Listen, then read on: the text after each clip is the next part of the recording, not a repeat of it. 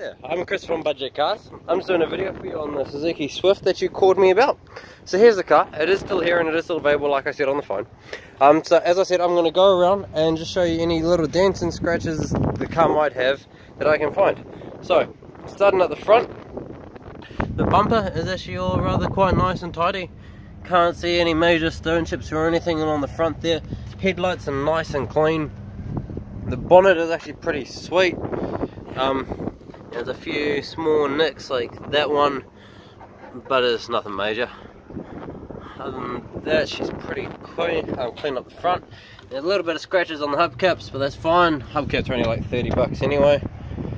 Coming along, this door's got a small scratch right there. It's so insignificant you probably can't even see it. Well, that's just a bit of dirt.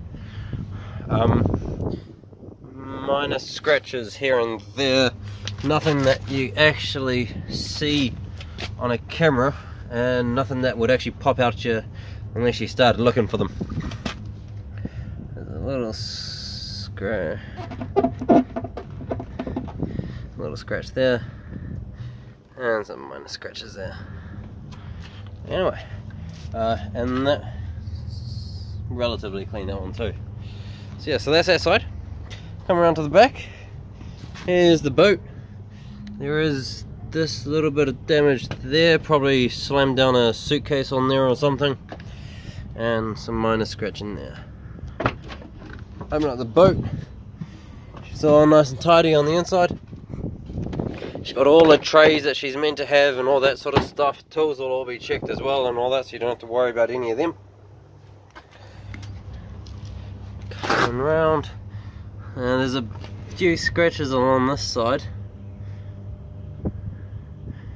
And then a few more there.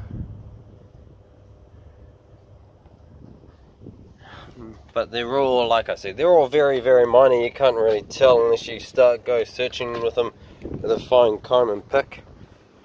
Um, yeah, well, that seems to be the outside. Uh, let's go inside, eh? So here she is. The driving steering wheel is all nice and clean no obvious wear and tear on there and the seat's still got most of its structural integrity. So that's awesome. Just like new. As I said on the phone she is missing the stereo. Now so it had a factory stereo in before I believe and so what we did was we went and swapped out the dashboard. So that way when you decide to chuck a New Zealand stereo in you don't have to pay for the new dashboard and all that. If you want we can organize it. We do have options with that. Um, going along little bit of yeah.